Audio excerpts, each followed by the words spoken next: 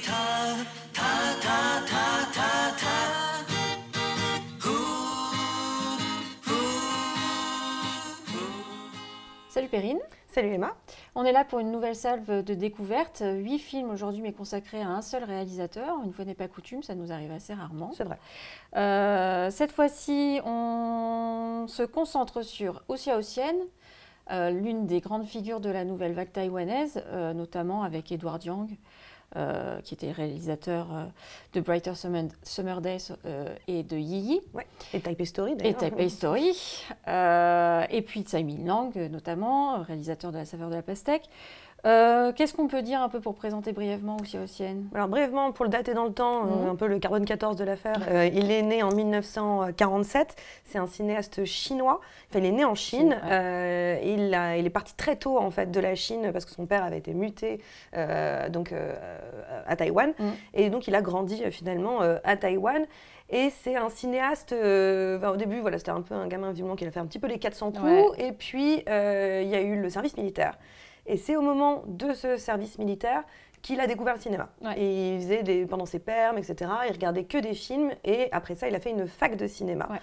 Et c'est là vraiment qu'il est entré euh, dans ce cinéma pour devenir ce cinéaste, euh, en effet, de la, de la nouvelle vague, mais vraiment de la modernité, quelqu'un qui est très inspiré par euh, Antonioni, par exemple, c'est-à-dire un cinéaste euh, qui aime le temps long, Ouais. le temps réel, le banal Ouais. aussi, filmer le banal. Et donc voilà, on peut retrouver, ces- penser à des gens comme oui, Antonioni, Rossellini ou même la nouvelle vague française Ouais. finalement. Donc il va s'inscrire là-dedans.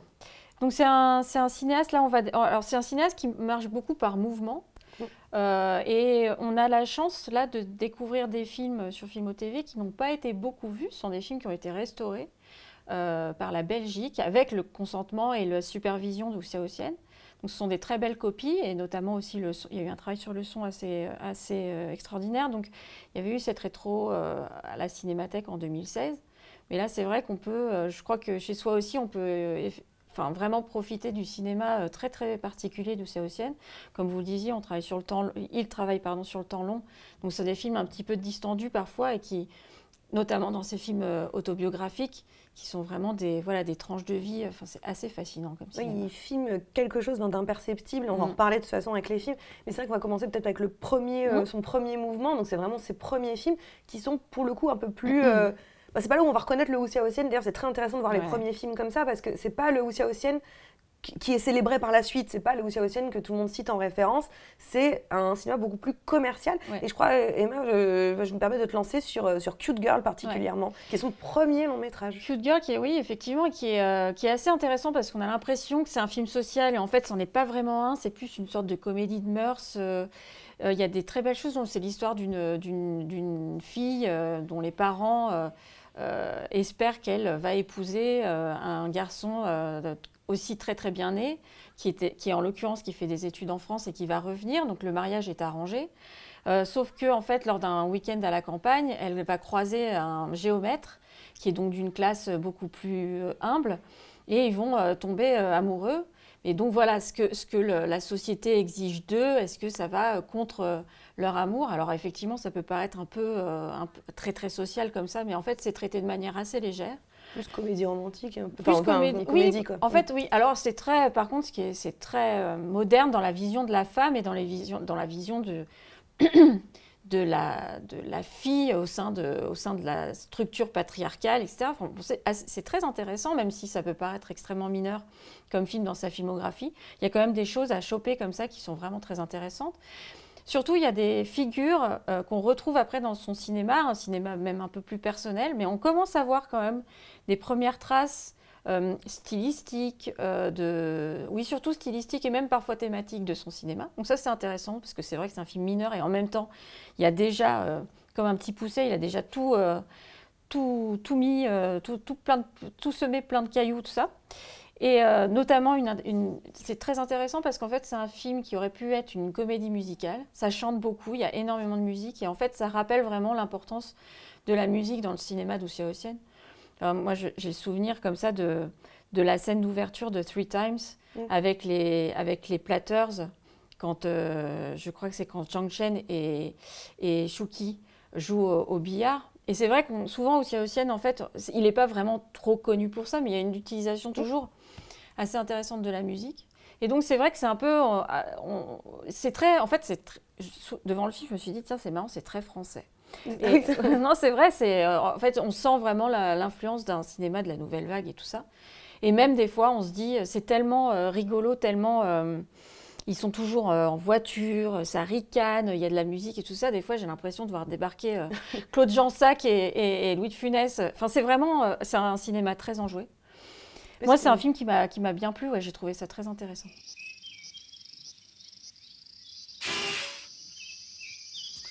怎么口琴都吹反？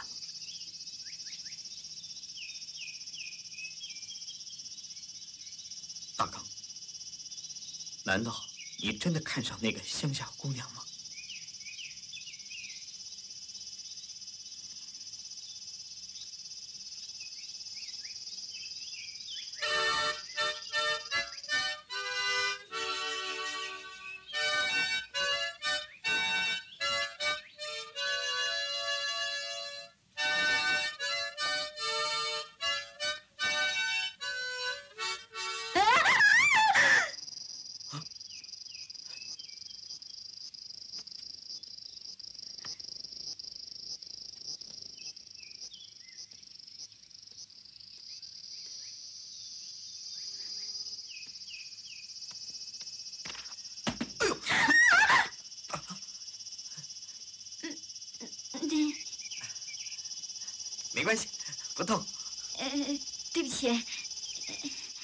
Et ça, c'est vraiment ses, ses premiers films voilà, Mm. plus commerciaux Oui, euh, aussi. Il avait fait après en 80 euh, Cheer- Cheerful Wind. Ouais. Euh, mais moi, je vais plutôt m'attarder, choisir de m'attarder sur le film de, suivant, le de, de 82, euh, Green Green Grass of Home, Ouais. ou euh, voilà, l'herbe verte de chez Ouais, nous. C'est ça, l'herbe verte de chez nous. L'herbe verte de chez nous, parce que j'aime bien le, le titre Green Green Grass of Home, qui est aussi un, un titre de chanson. Mais euh, là, pareil, on est encore dans cette période, c'est dans cette, voilà, ces trois premiers films euh, beaucoup plus euh, commerciaux. Mais euh, comme tu le disais, il y a cette idée de, de l'embryon euh, du cinéma. C'est-à-dire peut-être même inconsciemment chez Mm, lui. mm, Je suis même mm. pas sûre que ce soit totalement calculé, Ouais. mais il y a quelque chose de, euh, on voit déjà ce qui va éclore complètement par la suite. Et donc là, rapidement sur euh, l'herbe verte de chez nous, euh, on, on retrouve l'acteur d'ailleurs Kenny B qui était aussi dans Cute Girl, qui était aussi dans Cheerful Wind, qui est un grand, un grand chanteur populaire en vrai à Taïwan. Et euh, là, il joue un, un- un professeur des villes, en gros, qui vient pour remplacer sa sœur euh, à la campagne. euh, et donc, il débarque là-bas avec un petit peu un certain a priori de, de l'urbain euh, vis-à-vis de la, la ruralité.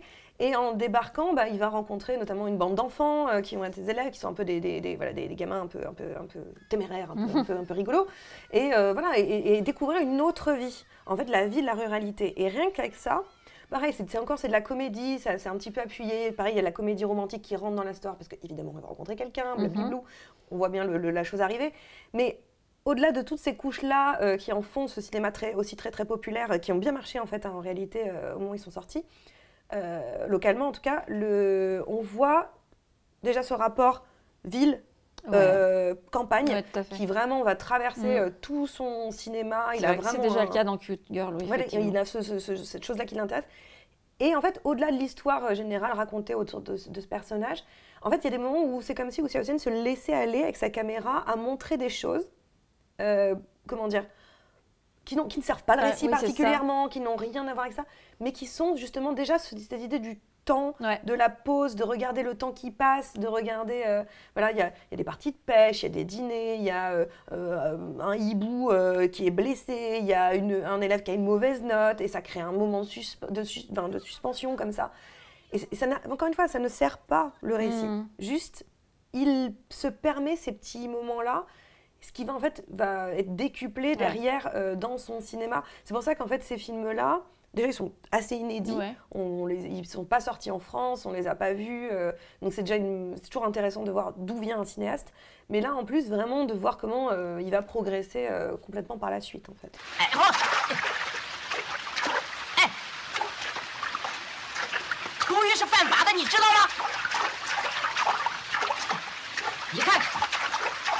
你这么做，鱼都给你毒死了，以后这条溪就没有鱼了。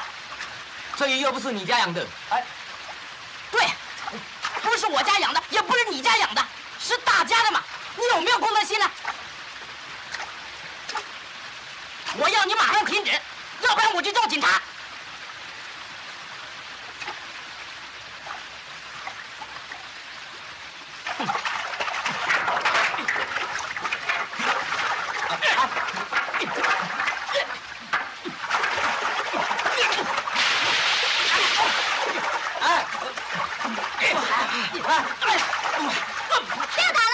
Donc, il y a euh, juste après euh, une sorte de mouvement beaucoup plus personnel, euh, avec des films beaucoup plus autobiographiques, euh, dont en 1983, euh, Les Garçons de Feng Kuei, qui est un film euh, là, qui, on enfin, là, on reconnaît complètement, euh, on commence à reconnaître complètement la patte haussienne. Alors, Alors, je me permets juste oui. d'intervenir, parce qu'en fait, cette, cette nouvelle euh, phase de son cinéma, elle arrive aussi après une rencontre oui, particulière, une rencontre avec l'écrivaine et, et, euh, et donc scénariste euh, Chu Tien-Wen, euh, qui va être sa scénariste après pour, pour le reste de, de- de son œuvre en fait, et qui vont avoir une relation particulière vraiment euh, de, enfin, de- un travail commun Mhm. extraordinaire. Et c'est vraiment en 83, donc ils Mm. se sont rencontrés. Euh, il l'avait été sur un autre film d'un autre cinéaste. Euh, mais voilà, c'est c'est ce moment-là. Elle, elle va lui présenter d'autres genres de personnes, lui faire entrer dans d'autres cercles. Et il va découvrir vraiment son cinéma à travers elle. Enfin, c'est marrant, il, ce, ce duo pour trouver son Mhm. cinéma à lui. Donc, euh, pardon d'avoir euh, interrompu. Mais non, mais euh, c'était très, intéressant, euh, notamment. Donc, euh, les, les garçons de Feng Kuei, oui, en fait, c'est- très. Bon, c'est l'histoire, en gros, de, de quatre garçons dans le vent. qui- complètement. qui, en fait, bah, ruent un peu dans les brancards, qui n'arrêtent pas de se, se bastonner avec d'autres gars. Bon, bref, c'est un peu un film de bande, en plus. C'est un peu un film de gang, même. Oui, c'est des, des loulous, quoi. C'est Ouais, des loupards, des quoi, vrais, loupards, ouais, des, gentils petits loupards. ouais, des petits loupards de, dans, mais De dans un village. Et en fait, euh, d'un coup, euh, c'est vrai qu'ils vont vouloir aller euh, à la ville, entre guillemets, euh, à Kaohsiung, où ils vont trouver du boulot, etc. Et en fait, là-bas, il y a des rencontres. Et en fait, bon, c'est très, c'est très intéressant. C'est pareil, hein, ça ne va pas spécialement à l'efficacité. hein, c'est des tranches de vie. Mm. Mais par contre, c'est, enfin, moi, je trouve que c'est vraiment un film incroyable parce que il y a notamment une euh, utilisation de la longue focale euh, pour filmer les quatre gars ensemble qui ont un swag absolument incroyable. non, mais c'est vrai, enfin, même, enfin, c'est, vraiment. euh, les images en fait sont extrêmement ico- iconiques. Tout de suite, en fait, quand on les voit, on se dit tiens, euh, je connais que ça du cinéma taïwanais. Enfin, c'est vraiment, c'est très, comment dire, ça cristallise quelque chose du cinéma taïwanais qui est assez dingue. Et donc, euh, c'est euh, un, un- film vraiment euh, presque rock'n'roll. Enfin, il y, a- quelque chose qui se dégage. Pourtant, c'est assez social et, et c'est vraiment, euh, c'est vraiment un très beau film. Le personnage, l'un des personnages principaux, Hachin, il est joué par New Dos, qui est, qui est aussi un réalisateur, un réalisateur taïwanais. Et ce qui est marrant, c'est qu'on sait que, alors je ne sais pas comment ça marchait, j'imagine que ça marchait beaucoup euh, en famille de cinéastes. Ouais, des, à des bandes de l'époque, cinéastes ouais. aussi, je pense. Parce qu'on sait que Osia Ossian, il a joué euh, chez Edward Yang, Yang, ouais. dans Taipei Story, euh, notamment. Et d'ailleurs, Edward Yang a joué chez Osia Ossian aussi. Euh, donc, euh, c'est marrant. Je pense qu'il y avait une sorte d'émulation comme ça de, de, de réalisateurs de l'époque. Euh, bref, c'est un film qui a remporté la Montgolfière d'or au Festival des Trois Continents. hein, donc, on est en, en 83. Donc, c'est. Enfin, euh, voilà, le Festival des Trois Continents pour le, pour le cinéma asiatique, il a fait beaucoup, beaucoup pour, euh, voilà, pour le- la reconnaissance. et c'est ça. le-. Donc voilà, c'est oui, oui, non, c'est un, un film assez, euh, assez beau. C'est très beau, même, je trouve. Il y a une manière de filmer déjà aussi. En fait, je sais pas comment dire. Il filme un espace. En effet, c'est assez long. Mm. c'est- voilà, Mm. son... faut l'admettre, Mm. ça prend son temps. Donc voilà, une fois qu'on rentre dans Ocia Ossienne, il faut. euh, Si on n'accepte pas ça, ça va être compliqué. Ça prend son temps, mais il filme quelque chose, il filme de l'espace et il fait rentrer quelque chose. C'est-à-dire qu'on voit ces gamins en train de, de faire les cons, enfin, a pas Mhm. d'autre mot. Ils, voilà, ils sont pas, ils sont, enfin, voilà, pas, les cons. Euh, mais il y a un truc d'insouciance, mais en même temps, déjà, dans l'image, je ne sais pas comment, tu sens que ça va. C'est déjà la fin. Il y a, il y a un truc d'inquiétude qui se met en place et qui va être traduit par la suite, etc. euh, avec ce- ce- voilà, ce- ce- cette montée à la ville qui est, qui est aussi synonyme de, désa- de désagrégement, Mm. en fait. Mais euh, il y, a, il y a un truc où il arrive à, fi- à filmer, euh, je sais pas comment dire, le fond de l'air. Et c'est assez, c'est assez dingue et on le sent déjà dans, dans Les Garçons de Feng je trouve. Et il y a un très beau plan de fin que je ne vais pas dévoiler, mais sur, euh, sur Bach, sur la suite numéro 3 de Bach. Ah oui, il y a du Vivaldi et du Bach dans- dans Ouais, ce film. ouais. c'est assez incroyable parce que et ça arrive à être. Euh, ce qui est marrant, c'est que c'est une, grosse modernité comme ça. C'est vraiment un film sur la jeunesse et en même temps, toute l'utilisation du classique euh, dans le film et apporte quelque chose de complètement épique au film. Donc ça, moi, je suis, enfin, vraiment, c'est un film que je conseille parce que en plus, comparé à d'autres films qui vont à venir par la suite et qui sont encore plus étirés et peut-être encore un peu plus longs, celui-là, il a une sorte d'efficacité, un- une sorte de rythme un peu justement qui est porté par un esprit un peu rock, un esprit un peu loulou, Et un peu euh, jeune aussi. enfin, un esprit totalement jeune, pardon, et qui, qui rend le film hyper agréable à regarder. quoi.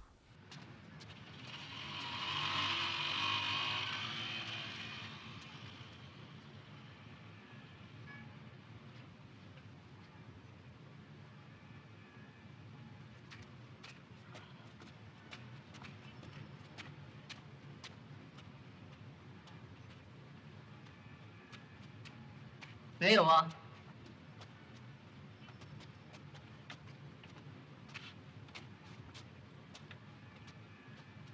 他妈的，我们被骗了啦！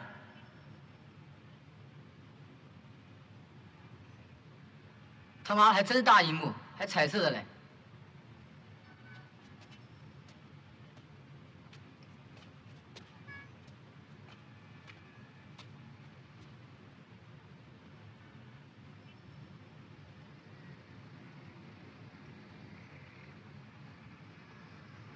他妈，我们找他去，去哪找啊？高雄那么大，你以为这是风柜啊？都是你要来的啦。好了，来不来了，讲那么多屁话干嘛？我操，我们花九百块在看风景的。我操，还不都是你笑话？谁呀？又不要再讲了啦。Et donc après les, les garçons de Feng Kuei, on, on continue sur cette, euh, cette période en fait de Wu Xiaoxian qui est une période beaucoup plus voilà, autobiographique, Ouais. personnelle, Ouais. très proche de lui du moins. On va pas dire que c'est complètement son autobiographie, mais c'est très très proche de sa, de sa personne. Et euh, donc il y a ce film de 1985, on voit qu'il enchaîne bien les films, hein. il y a quelqu'un de prolifique Ouais. quand même, euh, Wu Xiaoxian. Et euh, enfin jusqu'à une certaine période. Hum, Et donc le film c'est un temps pour vivre, un temps pour mourir, Oui. voilà, et non pas euh, autre, Autre chose, chose. que je confonds avec Douglas Sirk. Ce n'est pas ça. Donc c'est un des premiers films de, de, de qui vraiment le fait connaître Ouais. vraiment en dehors des, des, des, des- frontières de Taïwan en fait et, et de la Chine. Et c'est un film de 2h11, ça fait partie de ces films les plus longs de la période. Euh, et effectivement, c'est l'histoire donc d'une famille euh, qui habite en Chine et qui, euh, parce que le père est muté, euh, doit vivre à Taïwan. Est-ce que ça rappellerait pas quelque chose? Regardez le début de cette vidéo. Et donc, c'est l'histoire du petit Haha. Le petit Haha, c'est un très bon élève, c'est le fils modèle de la famille. Bref, il, est, il est voué à faire des études. Bref, tout le monde, voilà, tout le monde adore ce, Tout le monde se lève pour AA. Tout le monde se lève pour AA. Et euh, le problème de. Enfin, c'est pas un problème de AA, mais on voit sa famille, comment ça se. Il y a la grand-mère, il y a les parents, le père, en fait, euh, donc, qui est malade des poumons, il a la tuberculose. Et donc, en fait, on sent sa santé se dégrader. Donc, on- en fait, il a- il- c'est encore une fois une tranche de vie. Et puis après, on va le retrouver euh, beaucoup plus vieux quand il va plutôt tomber dans la délinquance et tout ça. Enfin, il y a quelque chose qui va se déliter au fur et à mesure aussi des, des morts dans la famille. Mm. Ça porte assez bien son nom comme film. Euh, et en fait, c'est- c'est alors c'est un film extrêmement triste, moi qui m'a foutu le moral dans les chaussettes parce que Cafard. effectivement c'est sur le cafard total sur quelques années comme ça de voir euh, l'impact de voilà de la mort du père. euh, après, je ne cache rien, hein, de la mort du- de la mère, de la mort de la grand-mère, etc. Non, tout le monde y passe. Tout le monde y passe, oui. Et, euh, et- mais par contre, c'est bon, c'est un film d'une beauté incroyable. C'est surtout un film extrêmement calme. C'est un film sans bruit presque. Euh, c'est très, c'est très presque atypique. Enfin, on voit plus ce genre de cinéma euh, aujourd'hui. Ça, ça n'existe quasiment plus, même dans le cinéma asiatique. C'est cette manière de faire du non, du non son. Enfin, moi, enfin, moi j'ai trouvé ça assez formidable. Euh, pareil, là, il y a aussi du classique. Euh, en matière de musique. Bon, il y a, il y a moins cette, euh, cette, euh, cette euh, séparation euh, campagne-ville dont on Oui. parlait, tout ça, mais il y a quelque chose aussi du déraci- enfin du, de, de- Enfin, pour le coup, il y a un mouvement de déracinement. Ouais, il y a quand même un mouvement de déracinement au début, puis même quand il doit partir étudier et tout ça. Bon, bref. C'est c'est difficile à résumer parce qu'en fait, c'est effectivement une tranche de vie qui va vraiment à son rythme. Enfin, bien sûr que si on n'a pas la patience, ça peut paraître un petit peu long. Mais franchement, il y a des choses à voir dans ce film qui sont, euh, qui sont assez Il faut incroyables. accepter quoi. de se laisser embarquer Ouais, en fait peu, chez, ouais. chez Ouais. Xiaoxian. Il faut accepter le mouvement. Mm. Si on est en résistance et qu'on veut absolument avoir une sorte de, de, de payoff, en fait, Mm, d'avoir mm. voilà, euh, quelque chose et enfin, derrière que tout est conséquence, on va être déçu. en Ouais, c'est- fait. Et c'est pas du tout le, le son cinéma. Et, et ce qui est intéressant, c'est qu'on parlait du père, de la figure du père dans, le- dans le film. Et j'avais lu pour le coup une interview de, de Chu Tianwen, euh, la, la- donc la, la scénariste, Mm. Et qui disait que régulièrement dans les films d'Ousia le père était soit absent, soit euh, très lointain. Ouais, ouais. Et en fait, c'était lié à sa propre histoire parce Mm. que son père était euh, en effet euh, très peu là. Il l'a très peu vu, il était très distant de, de- de sa famille, je crois notamment un peu en cause de maladie à un moment donné, Ouais, mais aussi par son métier. Et donc son père n'était pas dans sa vie. Et pour lui, dans son cinéma, bah, les figures paternelles sont soit mortes, soit euh, très distantes en Mais de fait. toute façon, dans les, dans- que ce soit dans Les Garçons de Feng ou dans euh, Un temps pour vivre, un temps pour mourir, on a vraiment l'image de ce père qui est sur une sorte de chaise euh, sur, le, sur le, le- la- le- le- le palier de, de la maison. C'est quelqu'un qui parle pas, c'est quelqu'un qui est sou- effectivement souvent souffrant, en tous les cas qui dort, qui est très très récessif, non, et puis qui n'a effectivement pas beaucoup de liens.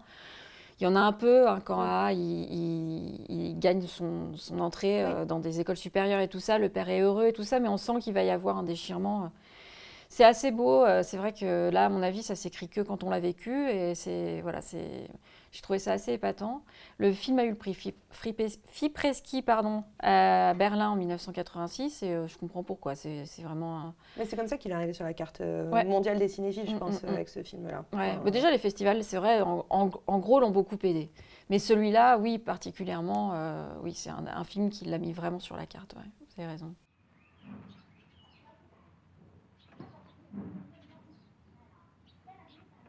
Ma, un 什么呀？看考到省立凤中。我桌上有一个粉笔打的勾，老师说桌上有勾的就是考到了。啊，没有。你同你阿爸讲，爸，我考到了，啊？我考到了省立凤中。我这桌上有一个勾，老师说桌上有勾的就是考到了。嘛该有十桥啊。老实讲啊，一考到啊你，就找找个好啊，用不必带一只桥啊。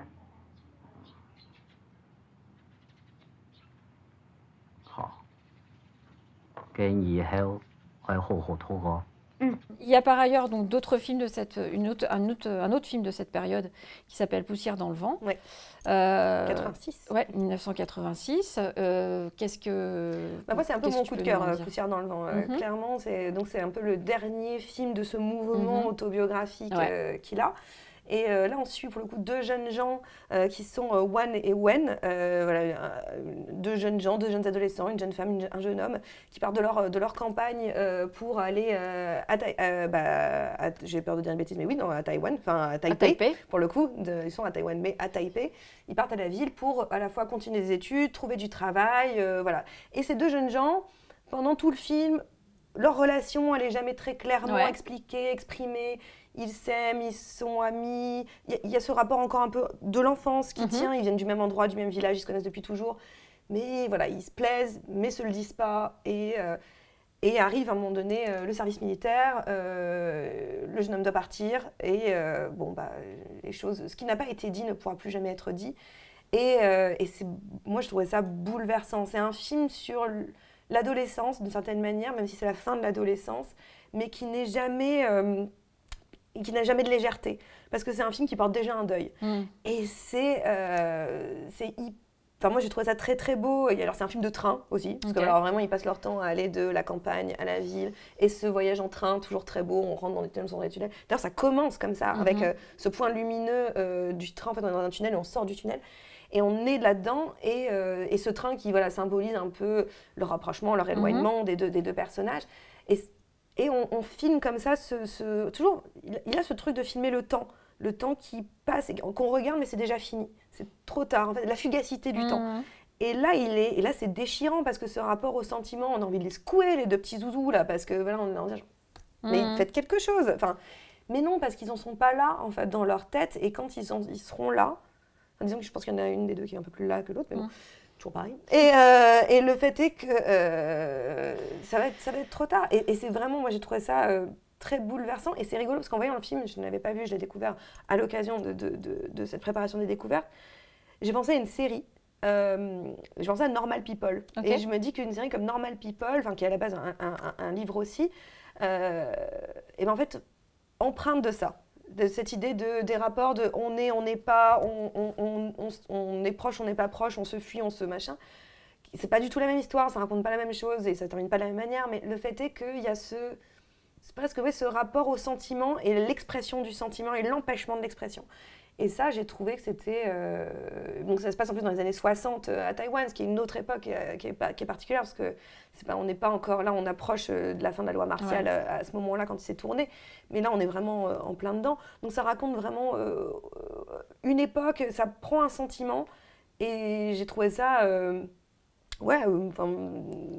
moi, ça m'a. C'était tout en retenue Ouais. très fort. Mais c'est marrant parce que chez. Ossian, euh, enfin, c'est un vrai réalisateur de la jeunesse et surtout, enfin, il la prend jamais euh, par-dessus la jambe. Quoi. C'est- On a l'impression que chez lui, euh, Enfin, il y a- une vraie urgence, il y a une vraie violence. Il y a une vraie jeunesse, elle- elle, colère, est pas, elle est enfin. pas, il ne dit pas que c'est temporaire. Ouais, non, c'est ça. Alors, il parle de la fugacité du temps, Oui. etc. Mais il n'est pas en train de dire ce que vous dites, ce que vous ressentez là, ça passera. Ouais, on s'en fiche. On s'en fiche, vrai, pas que ça du tout. C'est pas vrai en fait, parce que ça me marque. Ouais, ouais, que ce soit les relations amicales ou les relations familiales, tout, est, tout a un poids, quoi. On sent que ça va être formateur pour la suite. Puis comme lui se, se repenche euh, dans ses films sur ces sentiments qu'il a vécus, euh, il sait que ces sentiments-là, ils vont rester avec eux, avec les gens très longtemps. Donc c'est vraiment, enfin moi, c'est assez dévastateur, quoi, ce qu'il dit sur. euh, Enfin vraiment, c'est un cinéaste de la jeunesse, moi, qui me, qui me bouleverse assez, quoi.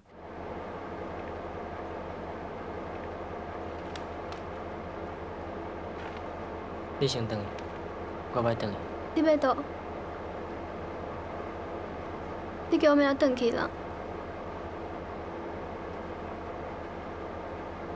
莫安尼啦，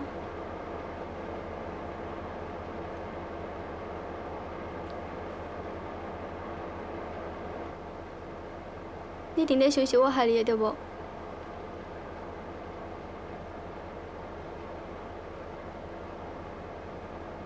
我的钱毋是拢互你摕去行人啊？我会行你啦。我才无爱你行。《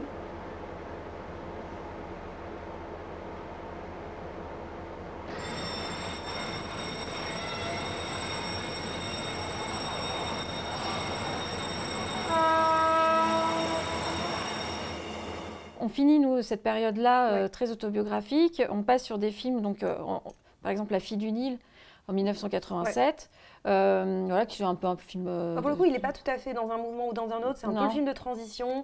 euh, C'est-à-dire qu'à la fois, il est proche des garçons de Feng Kuei dans Ouais. l'idée de passer, c'est-à-dire la fin de- de- d'une adolescence, c'est grandir Mm, en mm, fait. hein, mm. c'est vraiment accepter de grandir et, Mhm. voilà, et fin- en finir.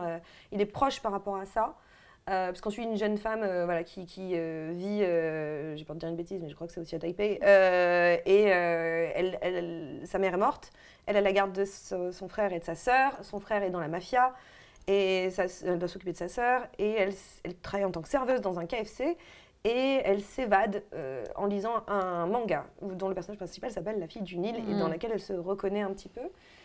Et, euh, et alors là, on quitte complètement les ambiances rurales Ouais. donc c'est là où c'est proche sur des garçons de Feng Kuei pour le, le passage d'accepter de, passer à autre chose. Mais ça va annoncer la période suivante euh, où on va retrouver notamment Millennium Mambo, Ouais. euh, puisqu'on est cl- clairement dans une jeunesse urbaine Ouais, et on est dans l'urbain. Et donc là, les couleurs sont, elles sont débordantes et, et surtout les espaces sont plus confinés sûr.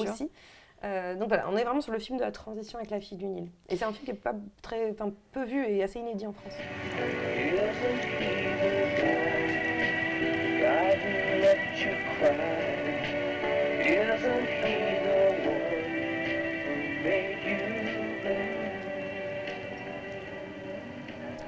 “阿杰去当兵了，小游下个月去日本，我们的党要散了。可是不得已了，记得去年 党第一次聚会，在十八王宫，哥哥跟阿三他们也来了，喝了很多的酒。阿三醉了，一直说他在美国的事情，陌生的环境，悲惨的日子。Call me 啊，听这首歌，无论何时，有时候我感觉自己像凯罗尔，我想离开二十世纪的哥哥、爸爸同学们？在古埃及曼菲式的世界里，快乐又孤独。可是曼菲是二十二岁就要死了，我会在你们身边，而我是无能为力的。或者 Ça, c'était 1987 et euh, le dernier film de la sélection, c'est 1998 avec Les Fleurs de Shanghai. On fait un petit saut. Euh, qui raconte autre chose, euh, qui, donc, euh, qui, euh, qui, qui est donc une nouvelle, un, un Wuxia qu'on co- qu'on connaît plus, disons, on va dire. Bah, je pense que Plus identifié. Plus identifié. Je pense que le- le- Les Fleurs de Shanghai, c'est un de ses films les plus connus Mhm. euh, en réalité. Euh, il avait été au Festival de Cannes, euh, Ouais. donc en 98. Euh, il était reparti bredouille sous la présidence de, de Martin Scorsese. Mais bon, il a été récompensé deux ans plus tard avec Millennium Mambo. Mais donc là, c'est vraiment dans sa période où il va retravailler l'histoire et de Taïwan, mais aussi de la Chine. Mhm. En fait, se souvenir aussi de ses racines chinoises. Et donc, il va retravailler cette période-là tout en faisant des liens avec le présent. Parce Ouais. qu'il y a une période entre les deux qu'on n'évoque pas ici, où là, vraiment, il va être sur l'histoire de, de Taïwan. Là, il est sur euh, le rapport au présent, et on va être là, particulièrement au 19e siècle, dans euh, une maison close, des, une, une maison avec des fleurs. Parce que c'est comme ça qu'on appelait les courtisanes, ce sont des fleurs. Euh, et en fait, on va suivre un, un triangle amoureux. triangle amoureux donc entre Wang et deux courtisanes, donc Jasmin et Ruby, dans deux maisons différentes. Et donc bon, lui c'est un haut fonctionnaire qui passe de l'une à l'autre. Bah.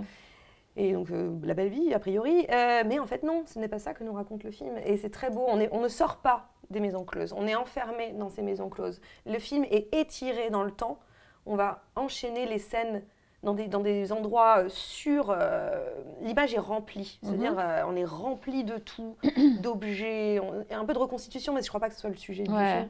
Mais il y a un peu de reconstitution, mais c'est rempli tout le temps de gens, d'objets, de mouvements. Ce qui tranche vachement avec les films dont on vient de parler. Exactement, c'est-à-dire qu'on retrouve là, en fait, encore une fois, ce, plutôt le- le- cette, cette dernière période où il va dans des espaces plus confinés. Ouais.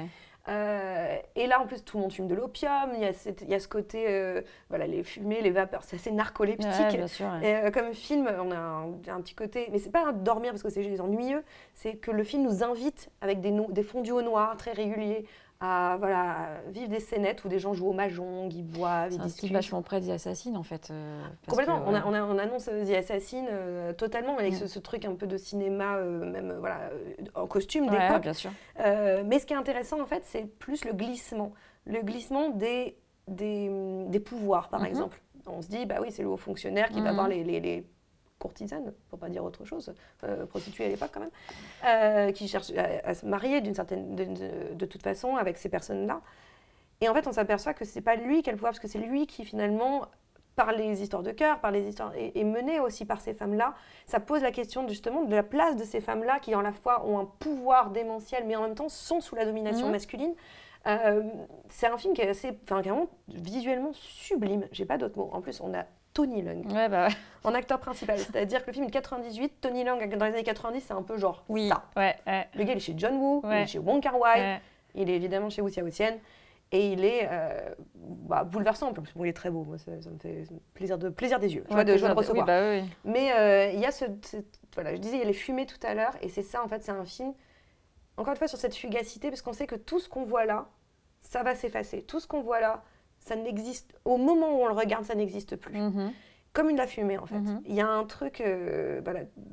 J'ai- je crois que vraiment quelque chose qui me plaît dans le cinéma d'Ossé c'est cette fugacité. Mm. Ça paraît le temps long, mais en fait, il nous explique, non, profitez, parce Ouais, qu'en ouais. réalité, ça, c'est passé Ouais, déjà, ouais, c'est ouais. fini. Mm, mm. Vous n'allez plus le voir. Et je parlais tout à l'heure de Normal People, pour, euh, et là, je pensais évidemment à un autre film où clairement l'influence est évidente. C'est La Polonide euh, de Bertrand Bonello, qui, euh, quand j'ai vu le Valet Flanche, Ouais. ah ouais, d'accord, euh, Bertrand, je vois ce qu'on a fait. Donc, euh, on a une claire influence. Mais c'est très, très, c'est, c'est très beau et euh, voilà, faut, faut accepter de passer du temps dans, ce, dans cette maison close. Mais les, les, les, les personnages et ce glissement du pouvoir est assez fascinant à regarder. Et les corps aussi.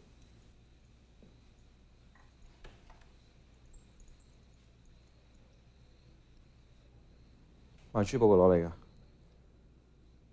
系啊， 十六個大洋喺貴旺兆廟少少噶啦。